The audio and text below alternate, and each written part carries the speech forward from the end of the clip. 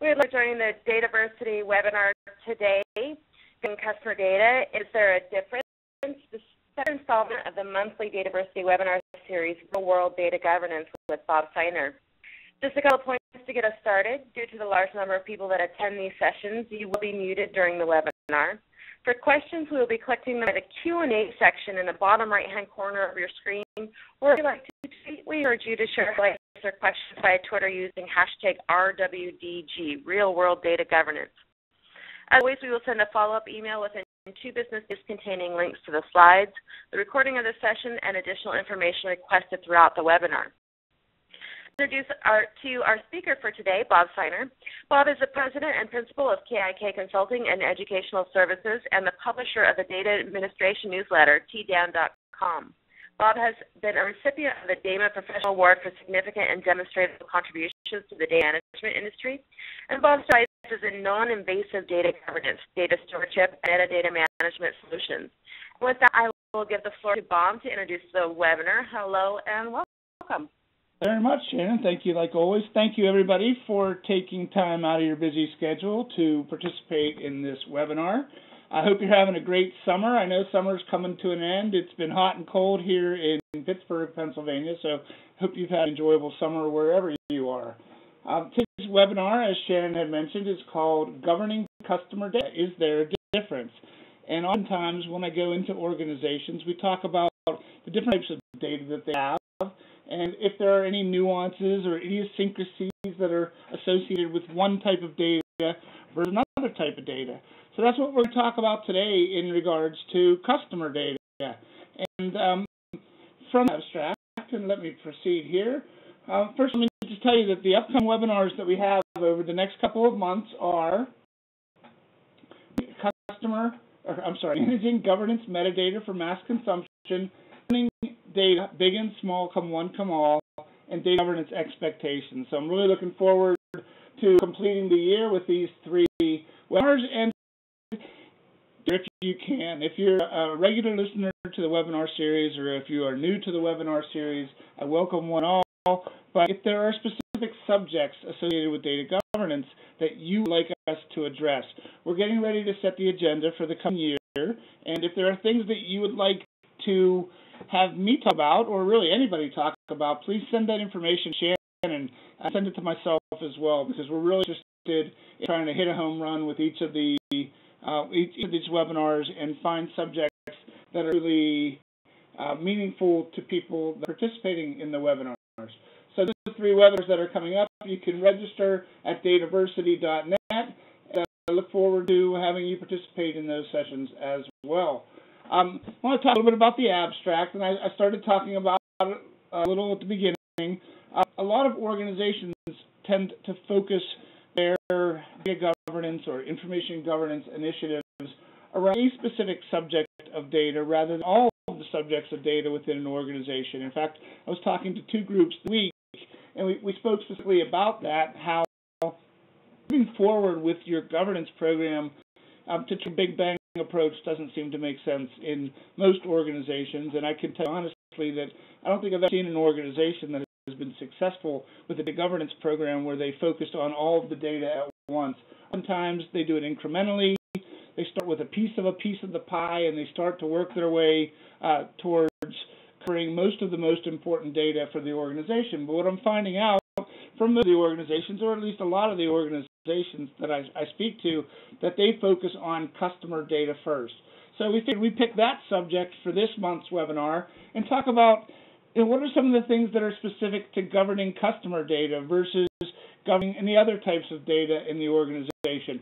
And what I'd like to do, if you're sitting in front of the computer right now and you have your your hand on the mouse, or maybe perhaps you're just listening to the webinar, but I, I want to ask the question for you guys that are in attendance: is do you think that there is a difference between governing customer data and other data in the organization? If you can either by show hands or actually, I guess I didn't place up front, but send a message and, and say whether or not you think that governing customer data really has to be different than governing any of the other data in the organization. But a lot of organizations do start uh, start their focus on becoming customer centric and becoming data centric through working on their customer data. So people talk about the 360 degree um, view of the customer, and the customer is constantly evolving, and all those things. Truly, the customer, for no matter what your business is, no matter what you call a customer, um, hopefully it's something nice, but whatever you call your customer, the customer is truly the main thing that keeps us in business. So the question I have here is, see if can put a check mark next to it, is there or should there be a difference in how we govern data about our customer, how we govern data around other uh, subject areas or domains? And so I'm not going to answer that question yet. In fact, I don't think there is a single answer to that question, but let's talk about it a little bit and see if we can draw some conclusions from that. Um, what I do is I do with a lot of the webinars, and I kind of focus at the beginning on the definitions of governance and stewardship, just because there may be new listeners out there who may not understand the approach that I take to governance and how I define these terms. So data governance is the execution and enforcement of authority over the management of data and data-related resources. And when I say that, a lot of organizations cringe. They say it's just worded way too strongly. Organizations take that definition and say, you know what, we really need to execute and enforce authority over the management of data. So why don't we define governance as what it is and the approach that we take to implementing governance within our organization. Of course, I suggest that we take a non-invasive approach. I'm not going to talk a whole lot about the non-invasive approach during this webinar, but you can kind of tell what my definition is through my definition of data stewardship. When I talk about data stewardship as being the formalization of accountability over the management of data and data-related resources. So rather than assigning responsibility to people or giving them work that feels like it's additional work, I suggest that we recognize people or we identify people that already have steward responsibilities and we start to apply governance or help them to apply governance to the to the data that is uh, meaningful and impactful across the organization. So just real quickly, my definition of non-invasive data governance is the practice of applying formal accountability and behavior through non-invasive roles to existing processes to assure that definition, production, and usage of data assures these things. I mean, it's kind of a, a general definition of data governance, but I talk a little bit about the approach, which is let's be non-invasive. Let's not have people feel as though we're hitting them over the head with a stick and we're telling them what to do or we're giving them new titles. To the organizations. A lot of times when I'm speaking at a conference, the first thing I'll do is I'll ask the audience, how many of your organizations are governing data? And only a percentage of the hands will go up. And then I say, well, let me ask the question again. How many of your organizations are governing data? And this time I want everybody to raise your hands. And they kind of give me a strange look, but they all raise their hands. You know, the, the truth is that you are already governing data. You're probably governing data in an inefficient, ineffective, maybe informal way and non-invasive kind of addresses taking that informality and turning it into formality within your organization. So I've this diagram before, just want to walk through it real quickly. Again, for those people that are new to the series, I want to highlight areas here in the middle. So oftentimes in an organization, if you can get your senior management, your management at least, to say we need to do these things that are listed here in the middle, and specifically for customer data, if we do these things for customer data, is that going to be necessary in our organization? And they are. Data must be recognized as an asset. I seem to hear a lot of organizations talking about that. Data must have clearly defined accountability. Well, if we put the word customer before it, well, customer data needs to have clearly defined accountability. Certain product data and vendor data and material data and employee data, they also have to have clearly defined accountability. So I think you can see which way I'm leaning in where I think governing customer data is different from gov governing other types of data. Um, data must be managed to follow internal and external rules and regulations. And quality must be defined and managed consistently across life cycle. So I've had organizations tell me that this slide here is almost a picture that's worth a thousand words. If we can get our senior management to agree that these things in the middle of the diagram are important, and they'll, they're, they're willing to sign their name to it, or may not even just sign their name to it, just nod, uh, then that's really the backbone of what we need to in, in, order to put data governance in place. We would need people to recognize that data is an asset, that we need to have clearly defined accountability, and all of those types of things. So let's talk about customer data. Um, and so customer by any other name, I don't know what types of industries you guys are all in, um, but maybe you don't call your customers customers. Maybe you call them members. Maybe you call them associates, students for universities and for profit education companies and public school systems, um, subscribers and patients and visitors and guarantors. Um, try to think about another domain or another subject area of data in organizations that I've worked with that have so many different names for something that's really kind of the same thing for the organization. And I really did, I couldn't come up with one. I mean, it seems as though um, customer may be about as confusing to an organization as any type of data that you have in your organization. I worked with an oil and gas company this week. They were focusing on well data. Well, uh, well, well data is very important to their organization across the board. They don't have a single definition of what a is. The, a lot of organizations don't have a single definition of what a customer is, or a member, or a student, or a visitor, or whatever, or all those things that are listed on this page, and whatever are names that you have for a customer. So the first thing we need to realize is that customer is very complex. Customer hits everybody in the organization. However, the, probably the same can be said for most of the types of data that we manage within organizations. That's here. So I want six questions about your customer data.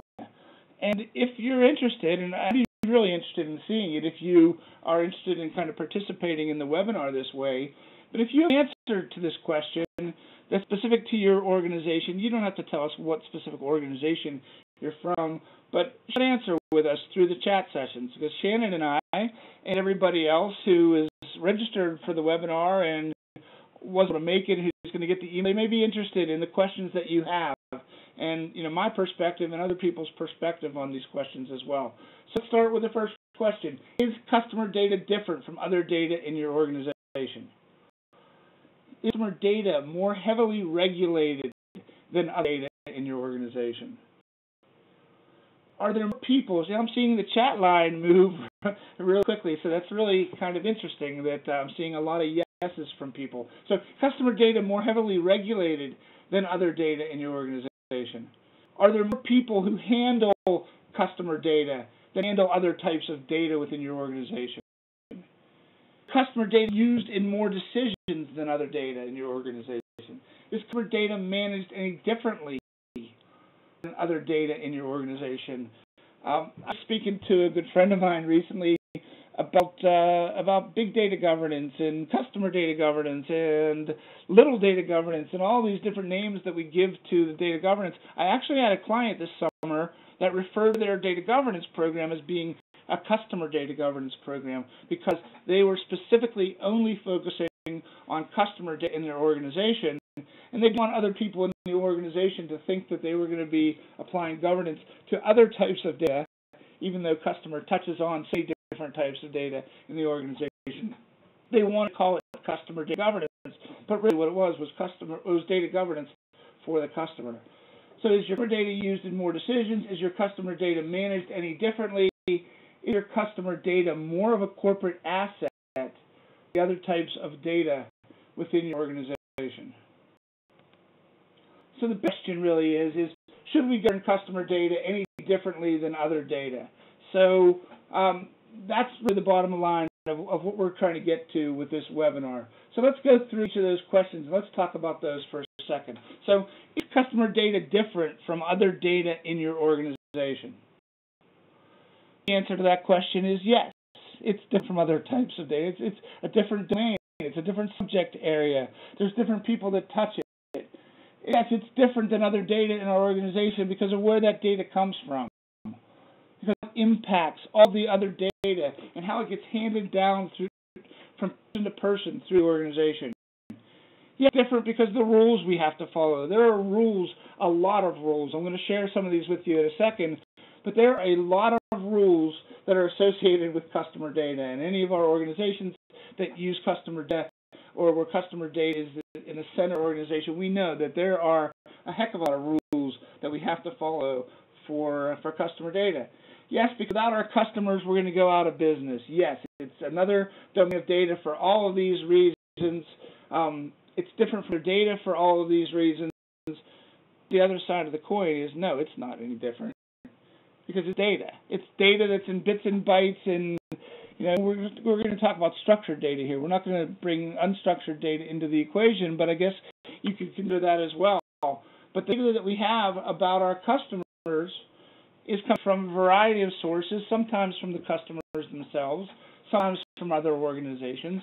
Sometimes we buy the data. Sometimes we have institutions and clinics that submit this data to our organization. But let's about it. Aren't there other types of data that we do some of those same things for? So, in the response that I, I do to this webinar, uh, this specific webinar, in the email that I send back to you, I'm going to kind of take some of the answers that you've provided or, or some of your thoughts because it looks like the chat sessions are, are pretty busy and, I, and that's great. I love to see participation, but I'm going to let you know what what other people are saying as well. But so is customer data different from other data? I guess you could say yes, but I guess you could say no too. So we really haven't answered the question yet as to whether or not governing customer data is different from any other type of data. So is your customer data more heavily regulated other data within your organization? So yes or more heavily regulated. What I'm providing for you on this sheet uh, on the page here is list. I don't know if it's it's large for you to read it or not, but it's a list of United States privacy laws pertaining to customer data. And down through there, there's things like FERPA, there's things like the Patriot Act, there's things like the Internet Protection Act of 2001. We don't think about all these things, but there are a ton of regulations that are associated with customer data. So this week, as I mentioned earlier, I'm with an oil and gas company talking. They're telling me about all the different regulations that they have associated with their data. And I've done a list for you of those. Uh, I, maybe at some point it would be great to compile all the different regulations for all the different industries somewhere. I don't have the time to do that, but it may be something that is uh, very worthwhile for people out there. So the the answer to this question is: Your customer data more heavily regulated than our data. You could say, yeah, it's got a lot of regulations associated. Maybe, maybe not. I don't know of all the regulations for all the different types of data in all the different industries. But what you see in front of you here is a list of a couple dozen regulations, and they are U.S. regulations, and primarily privacy laws pertaining to data. So it's only uh, U.S. and we know that there's organizations all around the world that use data, right? And they have different regulations depending on the different parts of the world that they're from, or even the states or the provinces within the countries. They have some specific rules. rules. Um, and also, there's just the privacy laws. What about any of the other laws that they have to be concerned with regarding our data? There's international laws. There's laws other than privacy. There's classification rules. There's security and operations, and there's specific business rules that you use to regulate the data within your organization. And so, again, what's the answer to the question? Is your customer data more heavily regulated than other data? And a lot of you that are on the call that are focusing on customer data are going to say, yes, it's more heavily regulated. But then talk to somebody in another industry and see what they think and how they would answer that question. They most likely would say, you know, a lot of regulations too. So I'm not sure that I can say that customer data is more reg heavily regulated than other types of data in our organization. So the third question was, are there more people in the organization who handle customer data than other types of data? So yeah, yes, more attention is paid to customer data. I can see somebody from a very customer-centric organization that.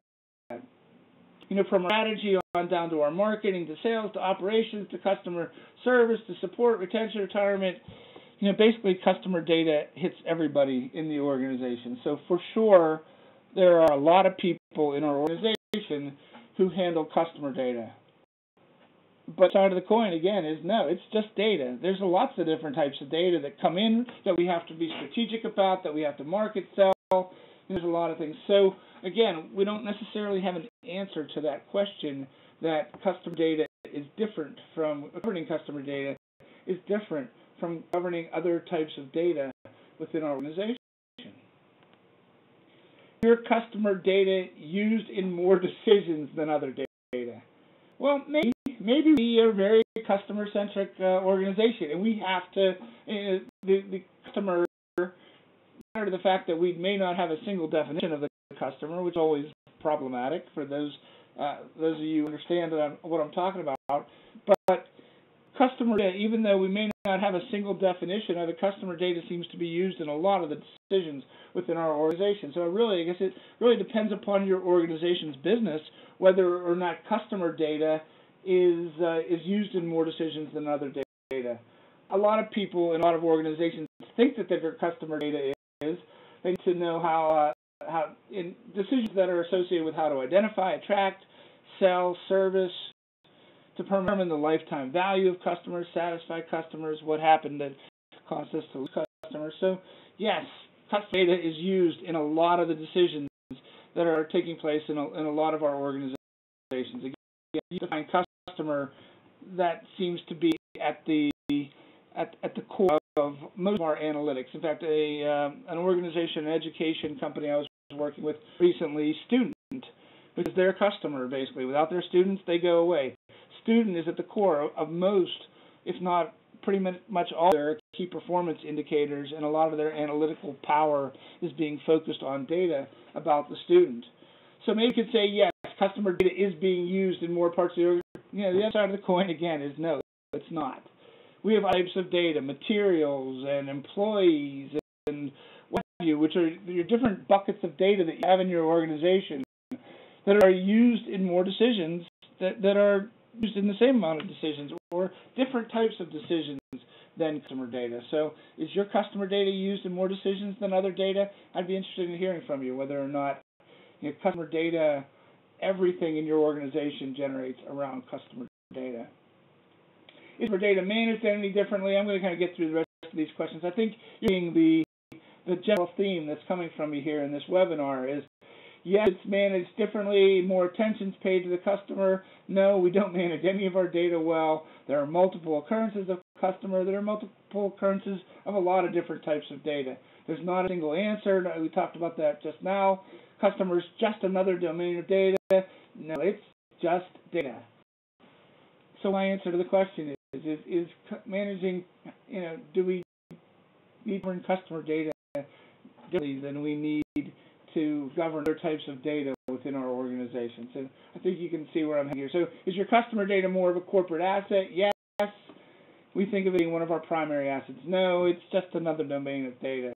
So we could answer a lot of these same questions the same exact way, but think about it that way. So again, what I'd like to see from you, if you've got a, a moment to enter into the chat, is is your customer data different from your other data? And how do you think it is different? And do you govern it differently than you govern other data within your organization? Again, be very interested in hearing from you if you have um, if you have some comments on those questions. All right, should we govern customer data any different? Uh, could lead to a lengthy debate, which we're not going to talk about now. But customer data uh, governance programs, again, I've seen organizations that have defined things as customer data governance programs, but the reason that they did that was not because that's really all they wanted to govern. That was all they wanted people to know that they were trying to govern, at least right out of the gate. So we wouldn't have all the people of the organization coming to them at one time. They called it customer data governance. So the question is, should we govern it differently, or is it just another domain of data? And again, I don't think I have a single answer for that question. I would venture to say that it's very important to all of our organizations we govern it differently or we govern it the same.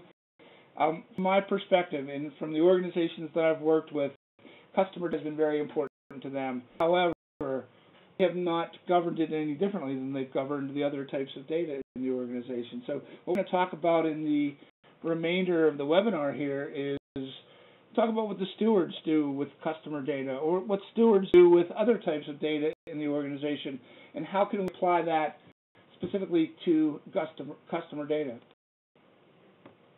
So by focusing on what the customer data stewards do. So if you recall from previous presentations, or if you haven't been in previous presentations, philosophy is that almost anybody in your organization could be considered a steward of data. We don't need to necessarily tag each of them on the shoulder and tell them that they're a steward. But we do need to know where they are We do need to know what data in the organization they define and they produce and that they use. And think about it. So, would your senior management agree with that? Would they agree that everybody in the organization could be considered a steward of the data? Well, if you ask the question a little bit differently, I think they may agree. They may say, uh, if you ask them, should everybody in the organization is the data or that has a relationship to the data be accountable for what they do in association to that data? In organizations, I would guess that, that your senior management would want to know how you were going to do that, but they would say yes. People in the organization, they need to understand those regulatory rules and they, the, the compliance rules.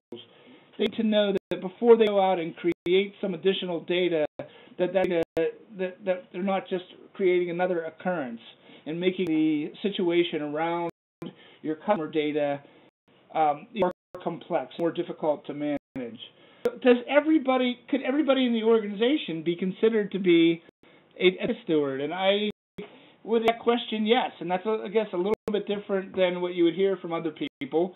But um, if your management thinks that everybody should be accountable for what they do with the data, then that's the answer to the question. Then they need to at least identified as to what part of the organization they're in. They necessarily document what their name is, but know that in different parts of the organization there are different uh, um, types of stewards. Look look at what their day day to day responsibilities and activities would be. you've seen what I've written about uh, data stewards. Their day to day responsibilities are going to be whatever is, is called for in their job.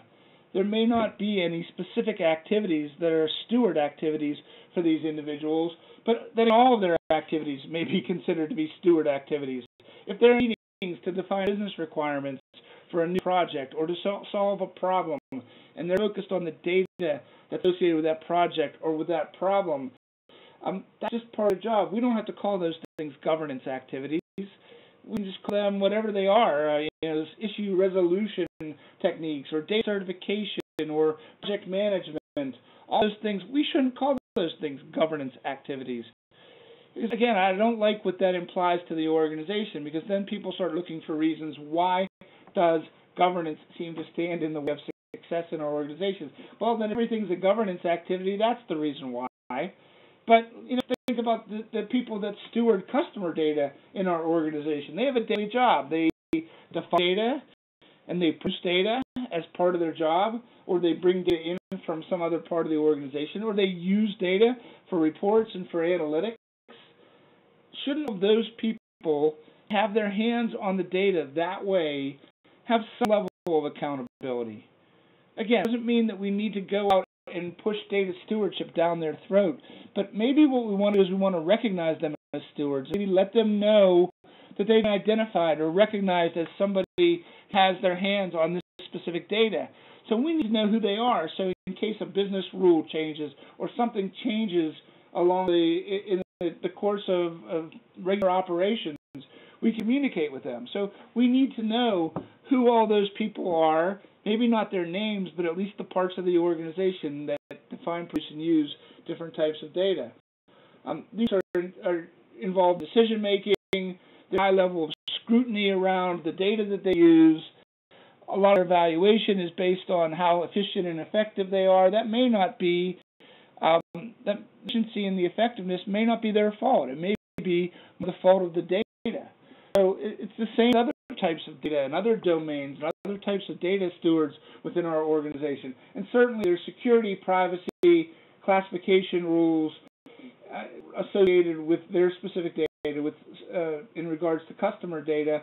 And certainly needs to be some level of enforcement around the management, around the governance of the customer data as well as other types of data within our organization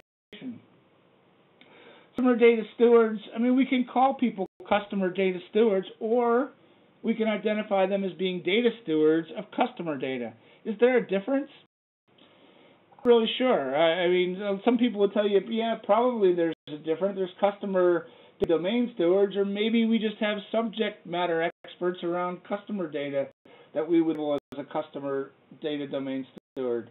Um, customer data definers, customer data producers, customer data users. We have got a lot of different definers, producers, and users of data, of different types of data across the organization.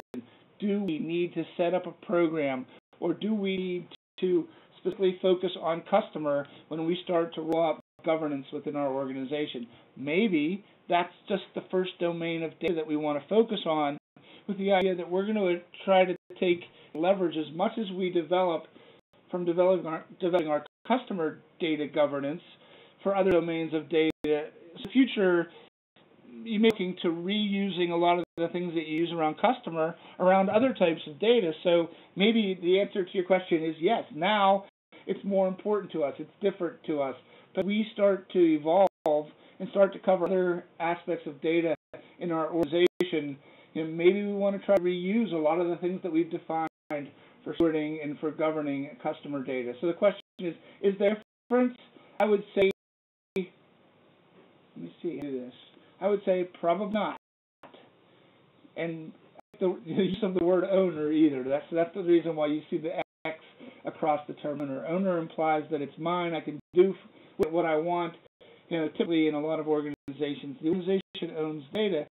People are stewards of the data. In fact, the definition of steward is somebody that takes care of something for somebody else. So I like the word, the use of the word owner organizations have that kind of embedded into some of the things they do. At least some organizations do. So won't tell organizations not to use it if people understand what it means.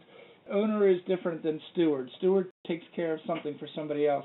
Actually, in one of the classes that I was teaching this week, somebody pulled up Webster Dictionary and showed me the definition of steward. And exactly what I said to them, which is it's somebody who takes care of something for somebody else.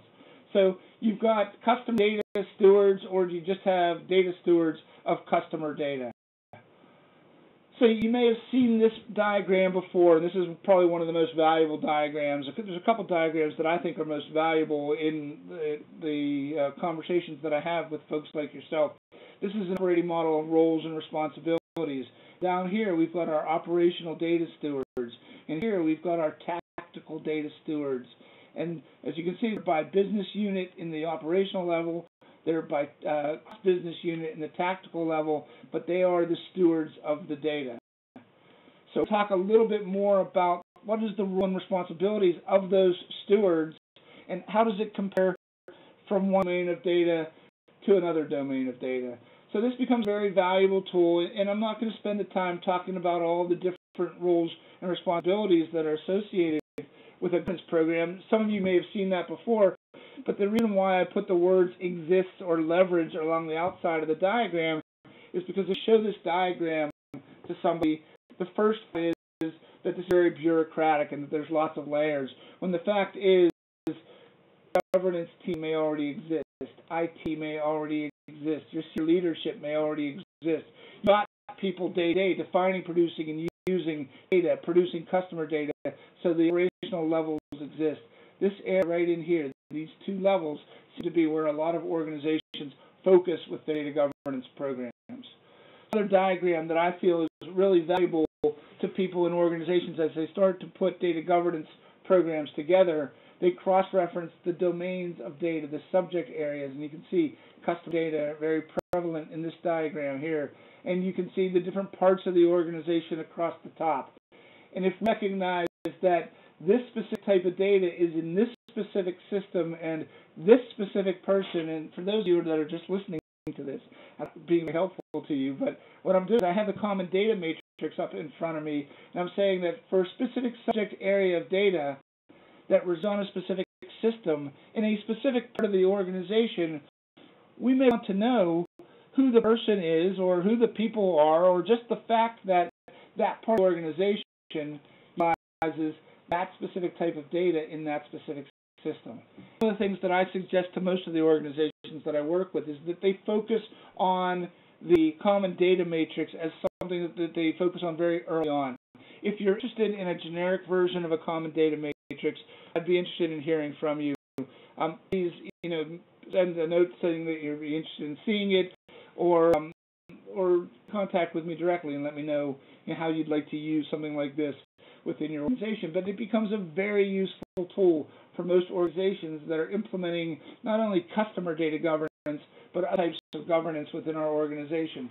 So what I did, and I think this is the first time that I've done this in one of uh, my presentations is I kind of superimposed the the model diagram on top of the common data matrix.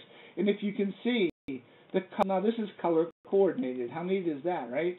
So we've got the different roles identified in the operating model, and I'm showing you where they're kind of highlighted also in the common data matrix. So again, these tools, if you can define an operating model of roles and responsibilities, and you can identify where the people are in the organization that have those responsibilities, that's a step forward for data governance in your organization. And in fact, um, it's a step forward for data governance, whether it's you're focusing on customer data as your initial domain, as your primary domain, as your only domain, or domains of data in your organization. So again, if you have these two things together, and we can then leverage these different roles and responsibilities.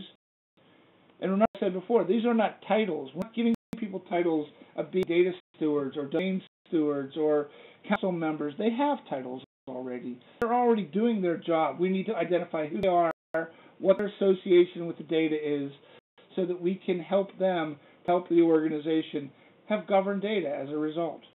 And it, it's, it's not the heavy-handed way. It's not the command and control way. It's what I call, and I talk about so often, as non-invasive data governance. We're not being invasive. All we're doing is identifying and formalizing people's accountabilities rather than handing them to people as their additional responsibilities. So with that being said, let me spend a minute here talking about Seiner's rules for becoming a data steward. So visit the, the, the pages of tdan.com, my publication. I write articles from time to time, and, and an article that I wrote fairly recently was really meant to be controversial.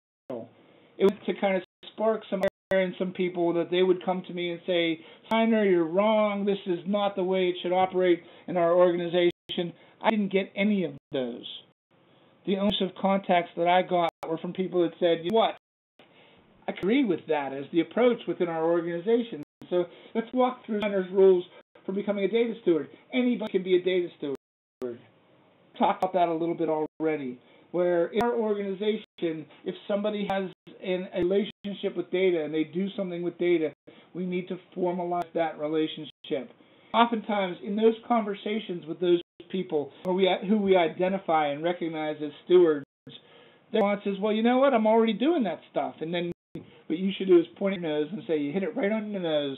You know, you're already doing it. That's why we've identified you as being a steward because the organization has told us that everybody needs to be held accountable, that we need to build efficiencies and effectiveness into how we manage data as an asset. So that's how we've identified you as being a steward. So basically, anybody in the organization can be a steward. Being a data steward describes a relationship to the data, and it's not a it's not a position. In fact, we don't just to skip to the fourth rule.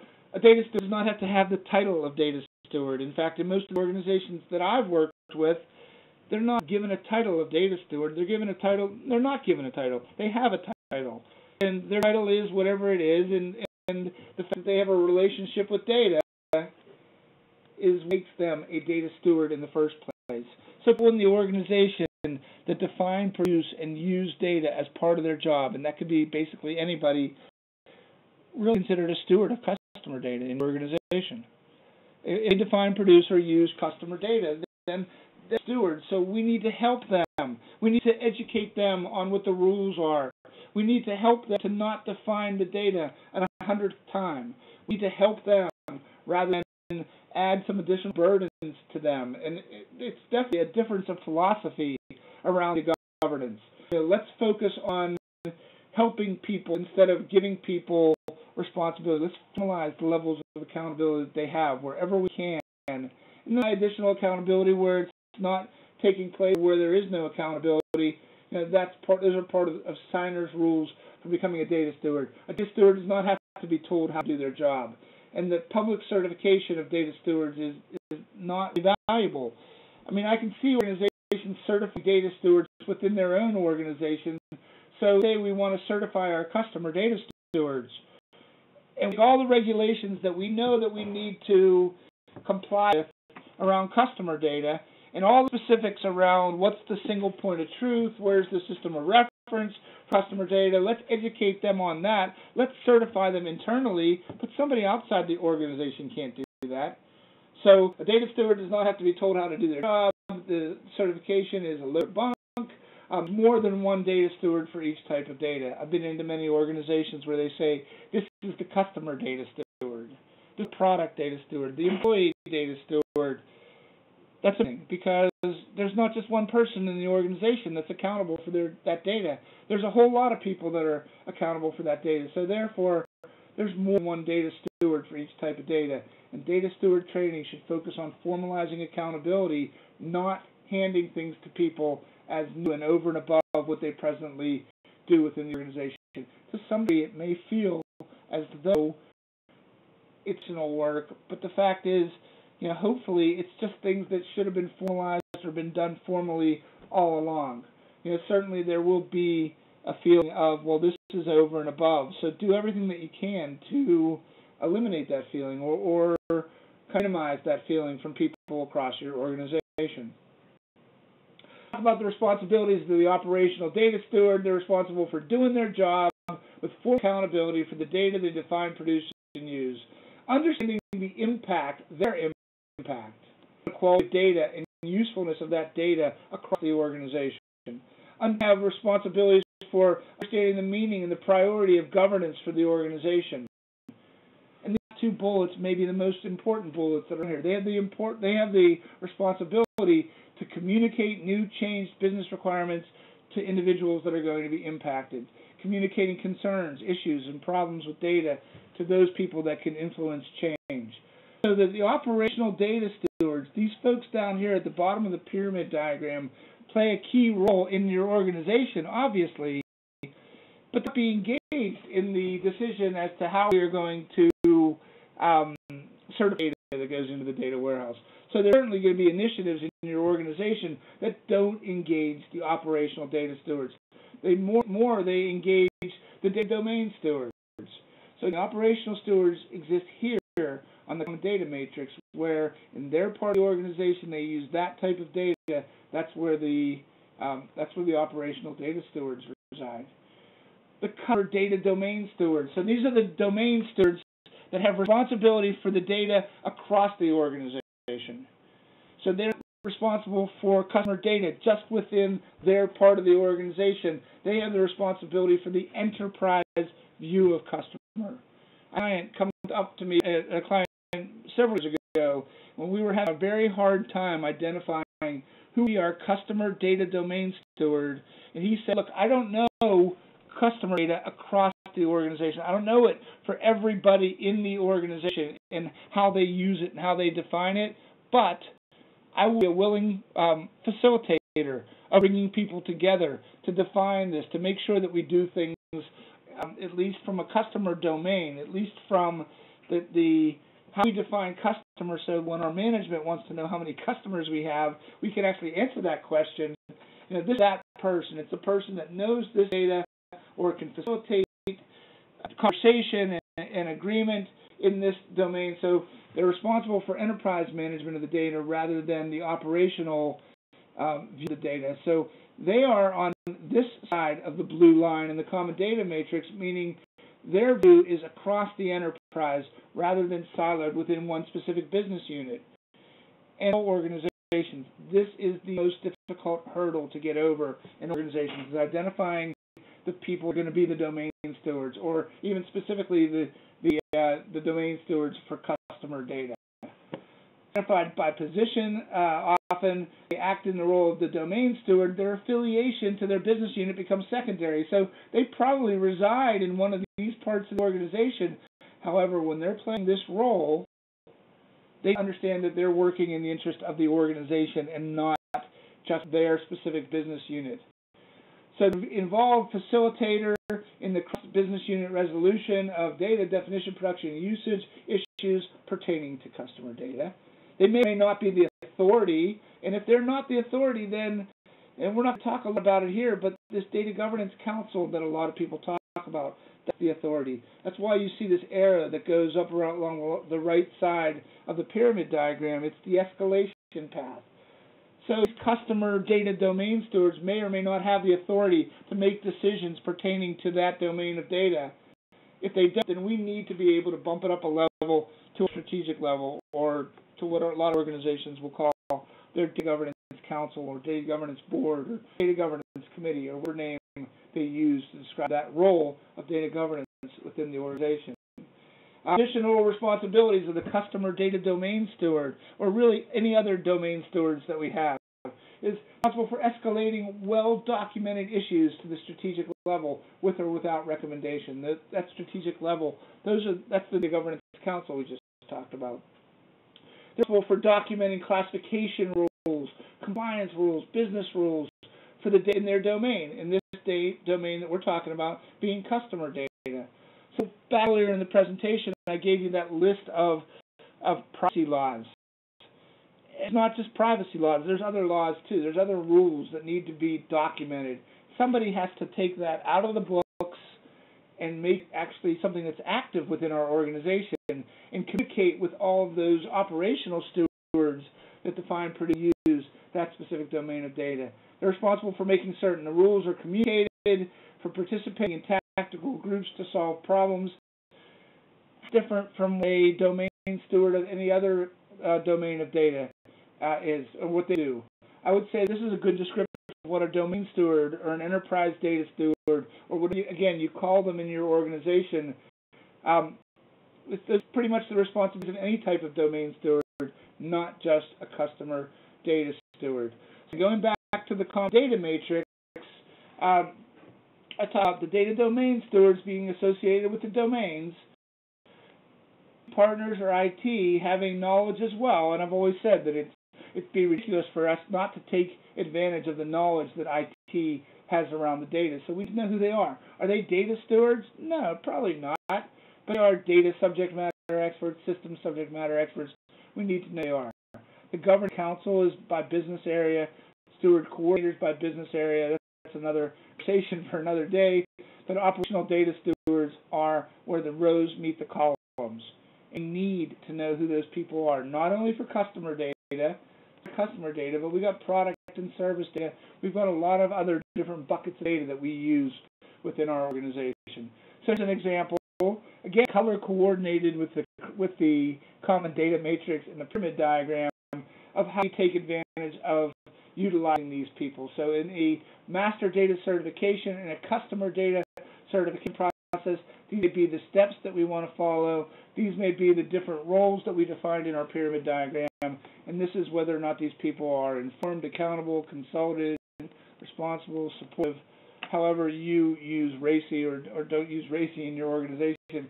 Perhaps in one of these blocks you want to say, what does this role do in that step? What does this role do in that step? So it makes becomes very clear what this specific process is and how we are going to involve the different people that we've defined as part of our governance program as part of that. So just to get here to sum up and to take some questions, hopefully there are some good questions out there. Um, messages for management. You know, let's stay non-invasive. Let's let's focus on being non-invasive. So we're already governing data, but we're doing it informally. We can formalize what we're doing. We can improve these things. We don't to spend a lot of money to do this. It really costs us the time that we put into it, and we really need some structure. That's what we really need in order to put a governance program in place in our organization. Additional messages, let's not sell this program as being a huge challenge. Because if we sell it that way, that is what senior management is going to understand. But if them and say, we're already governing data, but we're doing it informally, I have a way of formalizing this without being the iron fist that comes down and smacks people in the head, or the two by four as I often refer to it. Data governance is not a technical solution. There are a heck of a lot of good products out there that will help you to enable your organization with data governance, but it's not a technical solution. It's a people solution. If you implement a tool or a product, it will assist your governance program, but it will not be your data governance program solution behavior is what we're really governing. We're not really governing data, so maybe we should call it uh, governing customer people instead. That's not governing customer peeps. That's what we're going to call it. Data governance is an evolution, not a revolution. We talked about that a little bit earlier as well. We talked about the fact that we may start on a domain of data. We may start on a subject matter of data like customer or something else. Um, but we, it's an evolution. We're going to uh, years ago said, and you may have heard me say it before, but that, that don't let perfection get in the way of good enough. Let's define the program as an evolution and see what's working for us and what's not being worked for us, and let's move forward with uh, with putting governance in place and not make it a revolution within organization. So the last thing I want to share with you before we take questions is the most recent article that I put in the TDAN publication. And again, if you don't know the TDAN publication, please go out and take a look at it. But I call it the Data Governance Bill of Rights. And what the Data Governance Bill of Rights? Getting the right people involved at the right time in the right way, using the right data to make the right decision, leading to the right solution. Well, at least most of the time, right? So a copy of the poster that's shown on the right-hand side, please let me know that, and I'll be glad to send you out a copy of a poster, and you can proudly hang it above your office or your cubicle, wherever you work. Uh, but it's the Data Governance Bill of Rights. Again, getting the right people involved at the right time in the right way. That's what governance is all about. At least from my experience, that's what I've seen governance being all about. And so just to remind you now, the next three webinars, next next third Thursday of the month is October 17th. We'll be talking about managing governance metadata for mass consumption. We're going to talk about some of these tools I just went through and more of the specifics about the metadata that you capture in those tools, governing data, governing data, governing small data. Just everybody to hear that conversation. That's going to be interesting because I have some interesting perspectives on big data and data governance. So please tune in for that. And the other one is how do we manage the, expectations of our uh, of the people within our organization? Let's help manage the expectations of our senior management all the way down to the from the, from the executive level all the way down to the operational level and everywhere in between in that operating model. So that, Shan, I'm going to turn this back over to you. And do we have any questions today? It looks like we have one uh, going in the chat. And just a reminder, the most popular question, of course, is uh, will you, people get the slides, and we will, of course, include the slides, the links to the recording, and follow-up email that will go out by end of day on Monday. And there's already been a request, of course, for your matrices, so we'll get that out to you as well. Uh, there's a question in the chat, so go ahead and submit your questions in the Q&A section in the bottom right-hand corner there for me. And there's a question that came through the chat. Just um, how do you approach designing additional data stewards for a subject area such as customer. Would you create sub areas under main area? It happens quite a bit, and so in organizations when they're defining their their their main buckets of data, their domains of data, or their subject areas of data, um, customers are really high level. So sometimes they break customer the customer domain down into a subdomain. We've got customer address information. We've got customer transaction information. We've got PI information for the customer. We've got all these different subsets.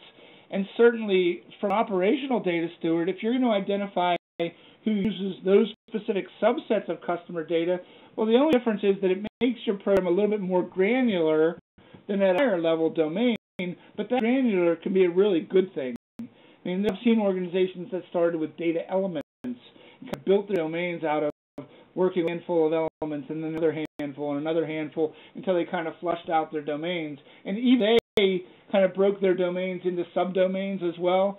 So yes, it's certainly all right on the domain steward side to even have people that know certain or more of the authority around a subset of customer data than all of customer data. So we have domain stewards for subdomains of the of, of customer, and we also have data stewards or there's people out there in our operational areas, you know, they only use a certain aspect of customer data. So to call them something different? No, we don't need to call them anything, in fact. We just know that they exist. But if we know more particulars about what data they define, produce, and use, we can communicate with them more effectively. It's really up to you. I won't tell you to stay too high level. I want you to get too granular. What you, the beauty of the Common Data Matrix and even some of the other tools are that, that you um, can really design it the way that you want to design it within your organization. And if you need to know about subsets of customer data and maybe even different types of customer, if you want to go that far, that's another way of looking at it. You know, feel free to kind of move that in any way that you need to make it useful to your organization. Right. Another question: uh, When you have management support through an information governance board, how do you get the operational and domain store to participate? Um, the operational and the who? Operational and the domain steward to participate. Well, one of the first things that you want to do is you don't want them to one of those meetings thinking that this is over and above what they're presently doing. You want to, in some way, shape, or form, convince them that a lot they already do is, is steward activity. They may not identify it or recognize it as being steward activity, but again, if they're being fully held accountable for it, they need to know who they are. So it's not as though they can opt in or opt out. The fact is, they are operational data stewards, whether or not they want to be or not. Now, the domain steward may be a little bit different because the domain steward seems to have more say, or at least to has has a broader view of that subject of area data across the organization. You talked about that center level of the pyramid diagram as being the hugest uh, or the, the largest hurdle to get over for a data governance program. Well, maybe you already have a subject matter expert, or you have subject matter experts about different aspects of customer. Let's identify who they are. Let's ask people who to go to when they have a question about this type of data or that type of data. That's typically going to be your subject matter experts, right? And that's what we call our subject matter experts. You know, if they have a level of authority or, or at least some responsibility for facilitation around that data that they're the subject matter expert for, let's formalize that. So one that we don't, one things we want to avoid when we're going to the operational stewards and the domain stewards is to let them think that this is difficult, this is over and above, this is going to change their job. I mean, if they come out with that perspective, then I think we need to resell it to them and take a, a method that is less invasive, or should I say non-invasive, the way that I always talk about. Um, it, for the questions, everybody, thank you so much for attending today and your time. And Bob, thank you so much for another fantastic conversation, and another presentation. We even had an attendee who is waking up at 4 a.m. to attend your session here, so that's quite impressive. Thank you, Gabriel, for, for dedication and, and to data governance.